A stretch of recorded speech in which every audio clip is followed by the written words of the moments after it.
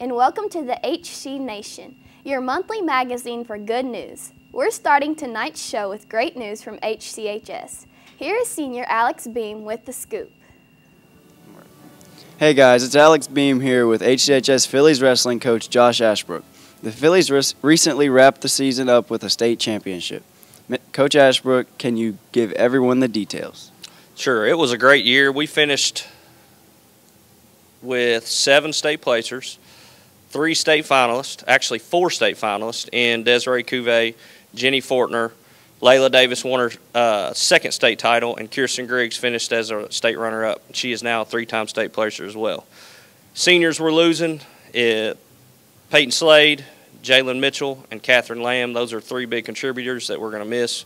Multiple state placers in that lineup, um, but very overall very pleased with how we finished up the year. We didn't get to compete a lot this year, so it was great to have all those girls out there competing and, and fighting and uh, just putting on for Harrison County. We finished with, I think, 29 girls competing uh, with seven state placers, and that was enough to win, bring home the state title. So it was really cool to do that. It was a collective effort. Everybody put points on the board, so it was great to see our girls finish strong. And now we got to reload and prepare to win another state title next year and keep the keep the dynasty alive. So that's the plan. Thank you, guys.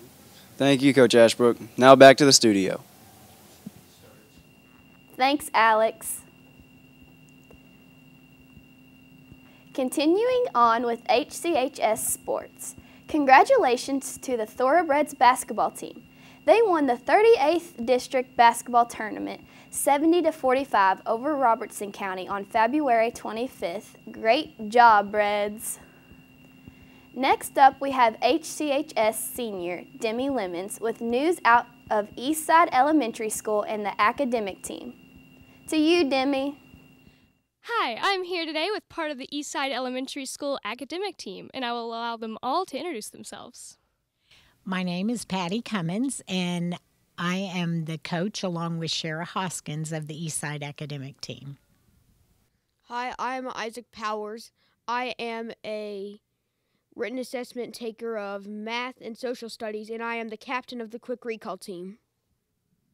Hi, my name is Reese Trimble, and I'm on the FPS team.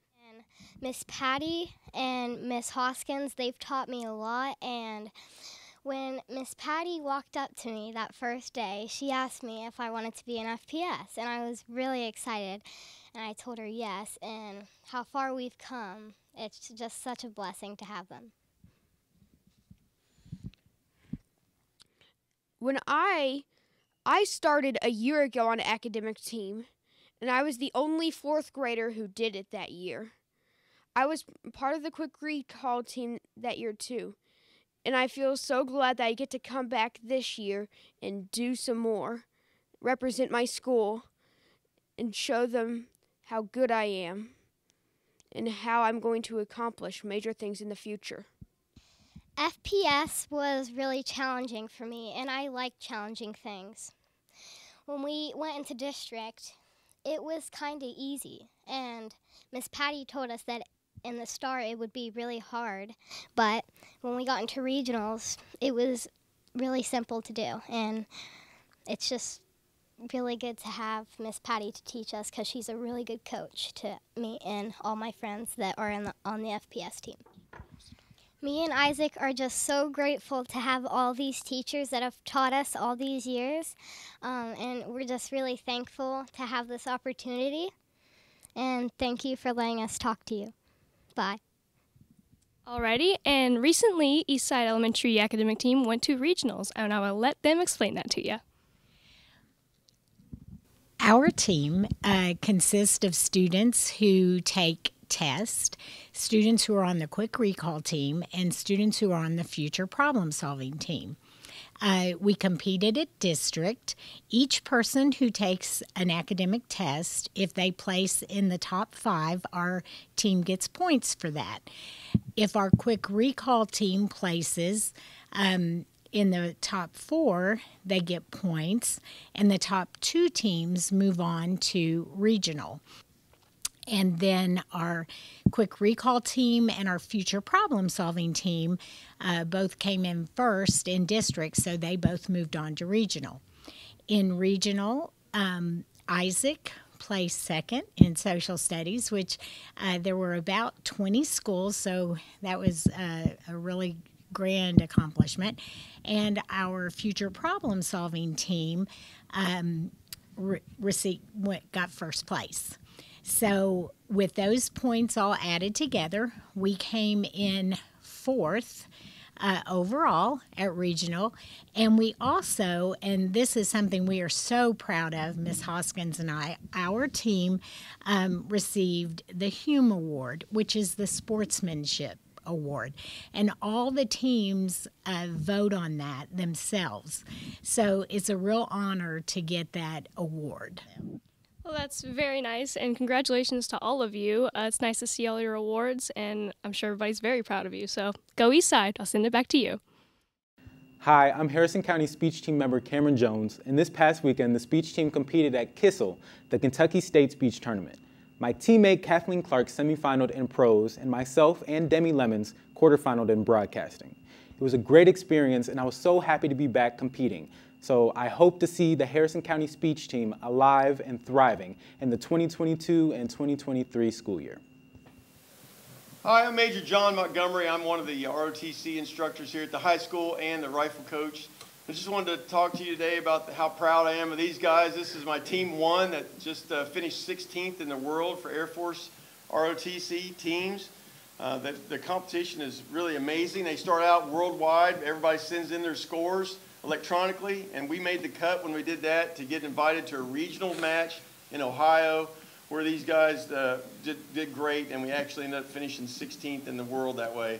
And uh, just super proud of them. Our program is designed to uh, teach the cadets about rifle safety, uh, also help them uh, with their competitive spirit, give them an avenue to exercise that competition, and also we wanted to uh, help them with their concentration skills, focus, and that type of thing. And they've done tremendously this year.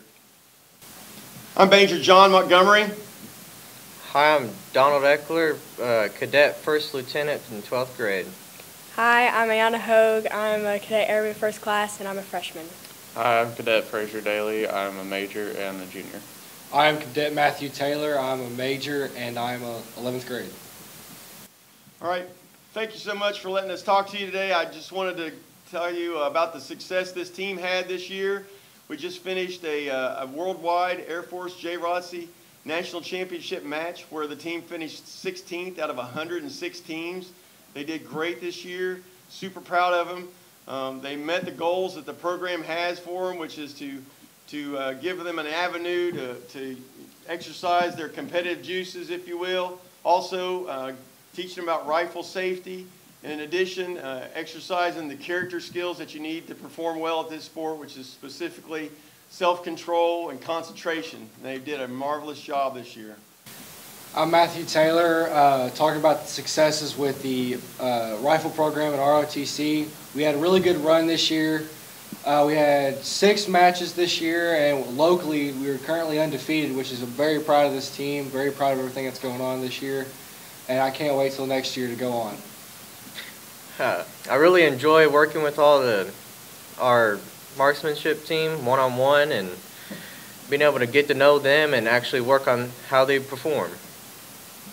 I'd like to talk about um, one of our competitions. It was Russell County. We had a whole lot of fun there.